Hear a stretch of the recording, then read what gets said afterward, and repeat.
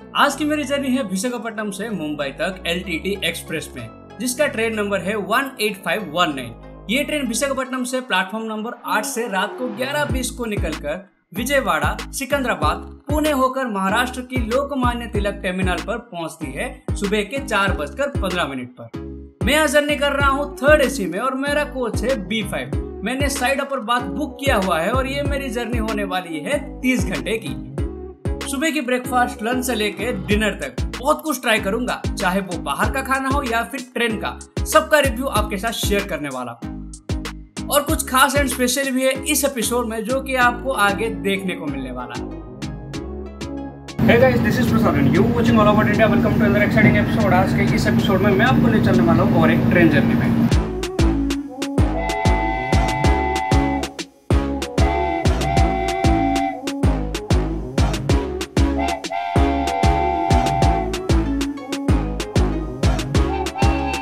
Boarding करने से पहले मैंने विशाखापट्टनम रेलवे स्टेशन के पास वाला एक होटल से 120 रुपए की special south Indian thali try किया, जिसका टेस्ट काफ़ी बेहतरीन था।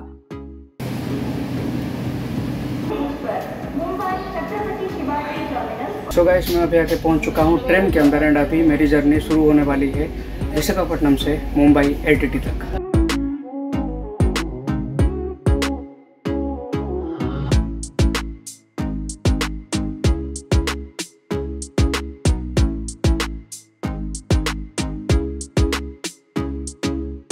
ट्रेन ठीक साढ़े दस बजे स्टेशन पहुँच गई और ग्यारह बीस को निकल पड़ी अपने डेस्टिनेशन की ओर, यानी के मुंबई।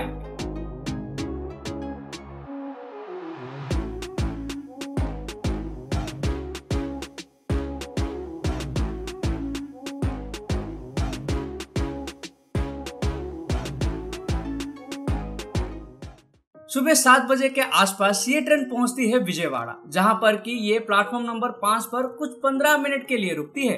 ब्रेकफास्ट के लिए ये जगह काफ़ी सही है। लेकिन मैं था गहरी नींद में, इसलिए मैंने उसके नेक्स्ट स्टेशन पर, यानी कि काजीपेट जंक्शन में साढ़े दस बजे ब्रेकफास्ट लिया।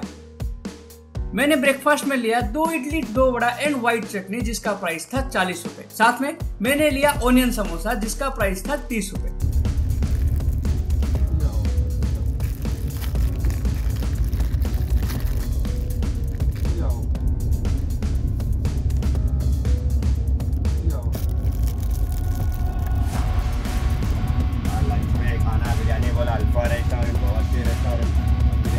भाई ब्रेकफास्ट काफ़ी सही था। आई I मीन mean, मैंने सोचा नहीं था कि काजीपेट जंक्शन में इतना अच्छा ब्रेकफास्ट मिल जाएगा।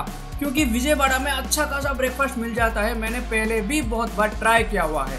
काजीपेट जंक्शन में मैं पहली बार ट्राई कर रहा हूँ एंड मुझे ये काफ़ी अच्छा लगा। वेज नॉन वेज इस ट्रेन में दिन भर पेंट्री से और बाहर से भी भिन्न भिन्न प्रकार के खाने पीने की चीज़ें आती रहती। चाहे वो चाय हो पाव भाजी हो या फिर कोल्ड ड्रिंक तो भाई सुबह उठ के मैं पूरा रेडी हो चुका हूँ। पहले मैंने ब्रेकफास्ट किया, उसके बाद मैंने कपड़े वगैरह चेंज कर लिए, क्योंकि कल सुबह से मैं वही कपड़े पहना हुआ था तो कपड़े वगैरह चेंज कर लिए। एंड अभी बज रहे हैं दोपहर के बारह बजे। एक साढ़े एक बजे तक ये पहुँच जाएगा सिकंदराबाद, उसके बाद निकमपल्ली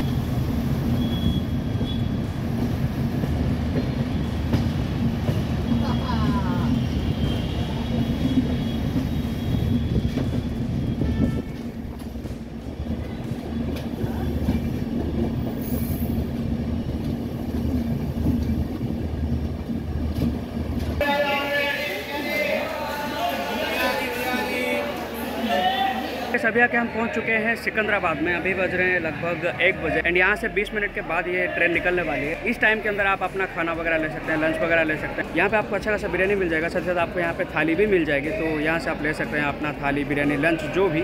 लेकिन मेरा जो लंच है, मेरा जो स्पेशल चीज़ जो आने वाला है, वो आने वाला है नेक्स्ट स्टेशन में, यानी कि लिंगमपल्ली में।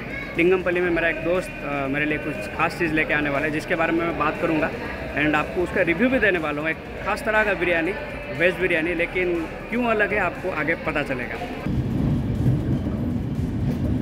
लिंगमपल्ली से मैंने बिरयानी रिसीव किया अपने दोस्त से, और ये वाली बिरयानी खास है, क्योंकि ये है क्लेपोट वाली जैक फ्रूट बिरयानी। मैंने जैकफ्रूट बिरयानी के बारे में काफ़ी सुना था और यूट्यूब पे सोशल मीडिया पे इसके काफ़ी सारे वीडियोस देखे थे। इसीलिए मैंने सोचा क्यों ना इस बार चलती ट्रेन में जैकफ्रूट बिरयानी ट्राई किया जाए। क्योंकि ऐसे इंटरेस्टिंग चीज़ें करना मुझे काफ़ी पसंद है। भाई, चलती ट्रेन में हैदराबादी बिरयानी के मज़े, वो भी क्ले पॉट में। जी हाँ आप ये हंडी को देख के अंदाज़ा लगा सकते हैं इसमें कितना सारा राइस कितना सारा मसाला ओवरऑल कितना बिरयानी होगा। काफ़ी कड़क था। ढक्कन खोलते खोलते मेरी हालत खराब हो गई। लेकिन ढक्कन खुलते ही जो खुशबू आई इसके अंदर से ओहो मज़ा ही आ गया। इसके साथ रायता एंड ग्रेवी मिला था जो कि काफ़ी सही था एक जन के लिए। ये बिरयानी चार सौ रुपए का था और क्वांटिटी काफ़ी ज़्यादा थी। मैंने इसको बड़े मज़े से खाया और बाकी बचे कुछ बिरयानी डिनर के लिए संभाल के रख लिया।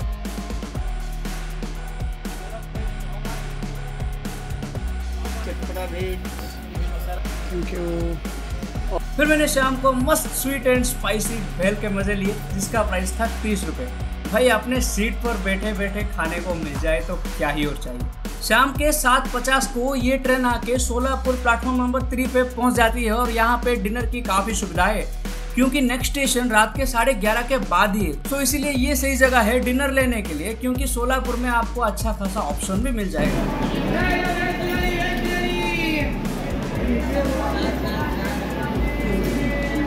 भाई, मेरे पास अपना बचा कुचा बिरयानी था, इसीलिए मैंने यहाँ से डिनर नहीं लिया।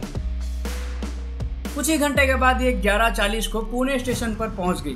पुणे में ये प्लेटफॉर्म नंबर एक पर रुकती है लगभग पाँच मिनट के लिए और उसके बाद ये निकल जाती है अपने डेस्टिनेशन को, यानी कि एलटीटी लोकमान्य तिलक। सुबह के ठीक चार बजे मैं पहुँच गया लोकमान्य तिलक रेलवे स्टेशन और वहाँ से अपने डेस्टिनेशन की आपको ये ट्रेन ब्लॉग कैसा लगा, मुझे कमेंट सेक्शन में ज़रूर बताना।